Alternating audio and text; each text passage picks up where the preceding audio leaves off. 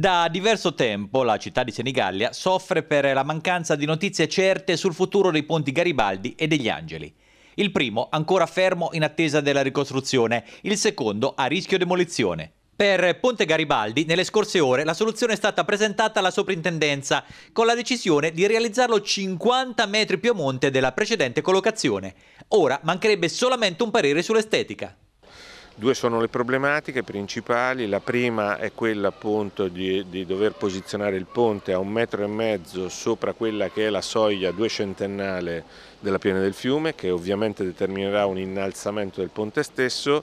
Il secondo problema è ovviamente quello di fare in modo che questo ponte non impatti con la visione dei portici che è vincolata, ma soprattutto non impatti con quella che è la circolazione.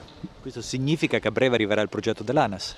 Questo significa che l'ANAS sta pensando a questo progetto e quindi di conseguenza sta cercando una soluzione. E per quello che riguarda l'inizio dei lavori, che data si potrebbe ipotizzare? L'ANAS ieri ci ha parlato di un progetto che se tutto avviene secondo un iter potrebbe essere pronto nel giro di un mese e mezzo e quindi poi successivamente si potrebbe, credo, potrebbero anche procedere.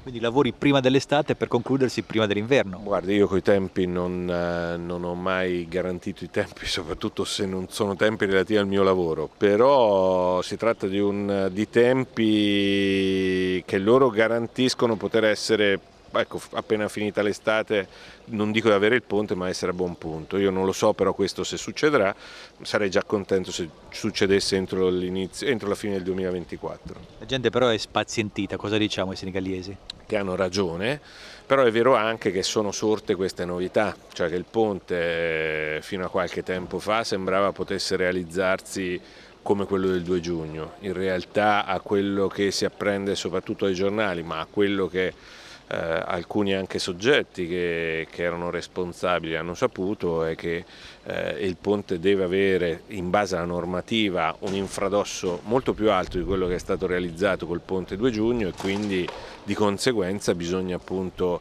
eh, avere sulla base di questo rifatti, è stata rifatta una progettazione secondo norma. Insomma, a sintesi il ponte si farà? Il ponte si deve fare.